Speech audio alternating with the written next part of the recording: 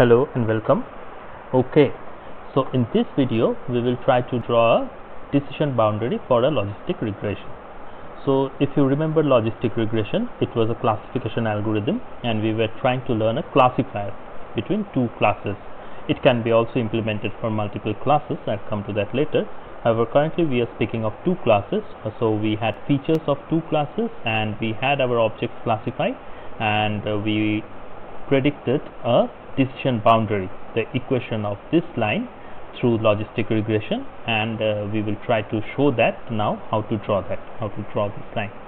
So as usual I have already started, started my notebook and have imported the prerequisite libraries and also have created the data.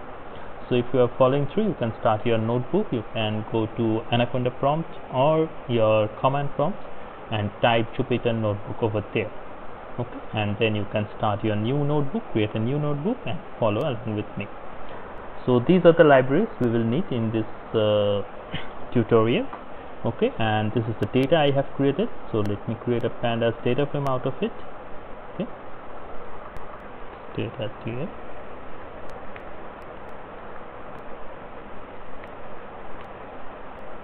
Data frame. And so this is the data. Sorry.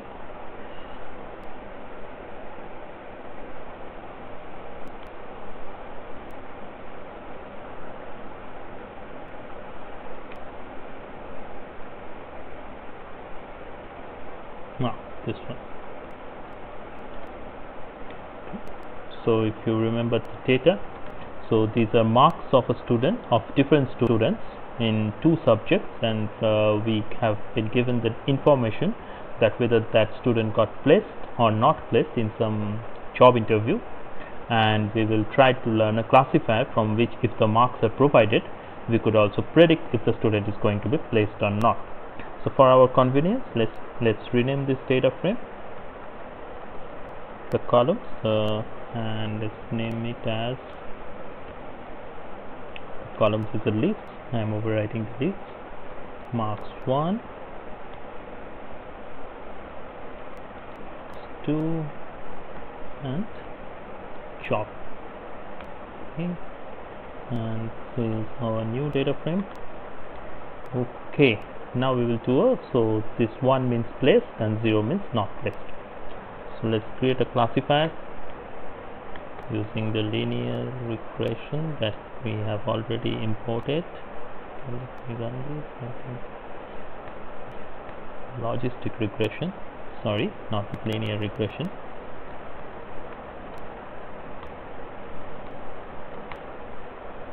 I'll do cls dot fit and okay before that we need to scale the data. Okay? So we create a scaler and it's okay if you only scale the x part the y is 1 and 0 we don't need to scale that.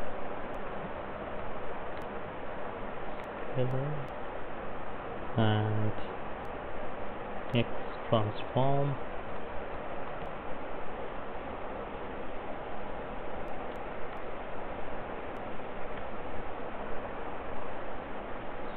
Scaler. Fit transform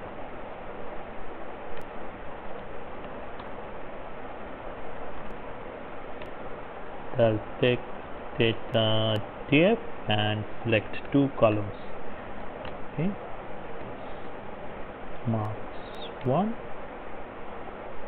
okay it has to be in quotes. Why is it outside the quotes? 2 okay. So I have the transformed data now. Okay and I'll use that to fit in this classifier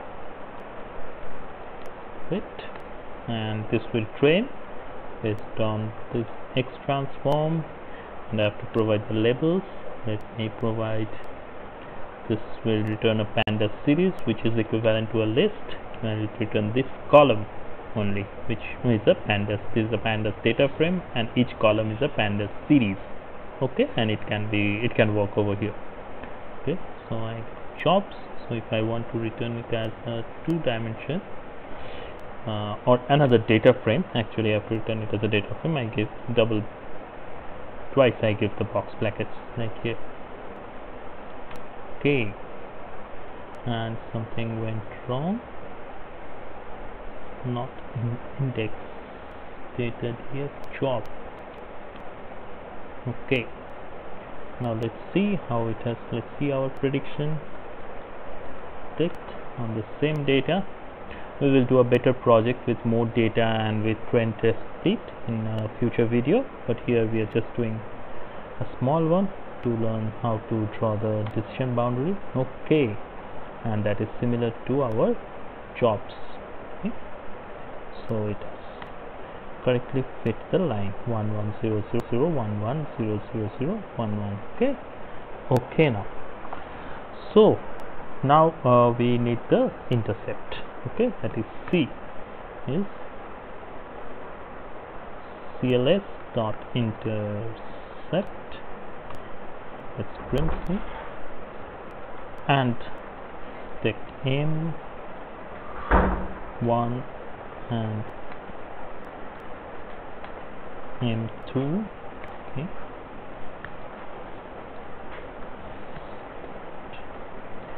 web and it's 0 colon 0 and m2 is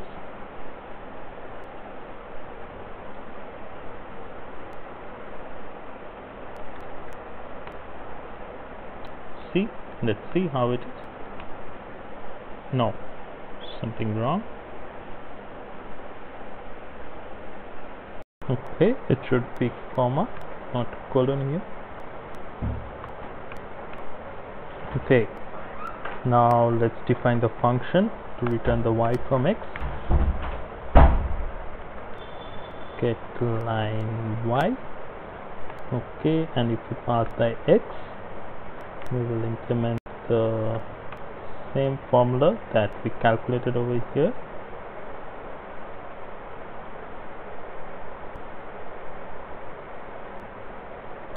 We will return this okay? So from x1 it can it can calculate x2 x2 the multiplied okay? And that's ready. So now we need to create some x so let's see our range of uh, x's that we will plot.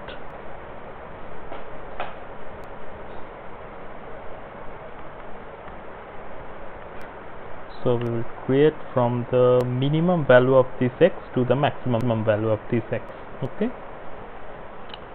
That uh, we get that from x transform all rows in column 0 dot mean.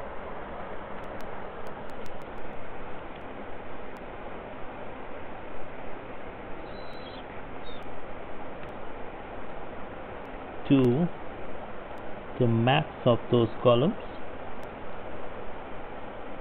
And we will take a small stepping each with a difference of 0.1 no it didn't create anything. Okay y at 1 should be mean to max. Okay okay so from minus, minus 1.2 to plus 1.3 with a difference of 0.1 so these are my x line line x line x and line okay so I can draw the line plt dot plot. Plt dot yes plot. And line x. And get line y. This we pass the line x in this function and get the corresponding y values. Okay something wrong okay we have to pass. Okay here it should not be x1 be x okay so here we have a line and let's print our points also over here.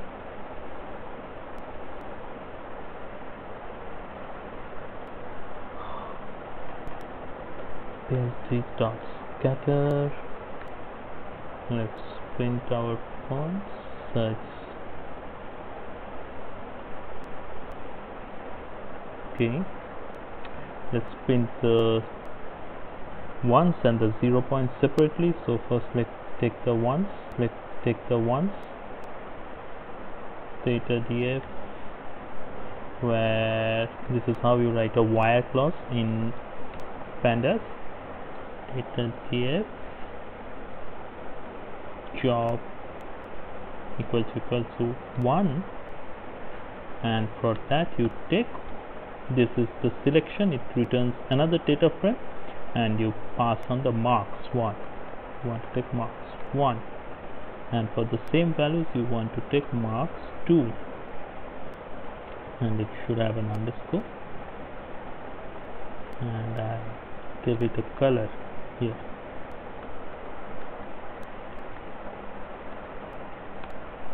Okay. Something went wrong mm -hmm.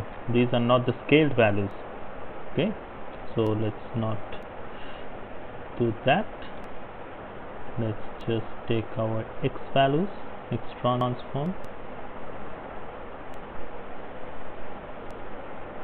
Transform all rows in column 0 and transform all rows in column 1 okay so here you see we have the decision boundary now. Okay so we could have printed separately. We have to separate these points and print in red and green. We can separate out from here and take it selectively. But more or less you get the idea. Here we have the separator. Okay so now you know how the decision boundary works. So we can have a split like if greater than this line or if it's less than this line simply we can use the predict but that's how it works. If it's greater than this line or it's less than this line. Okay? So okay i hope you enjoyed this and this help this also helps you get a good understanding of logistic regression. Thank you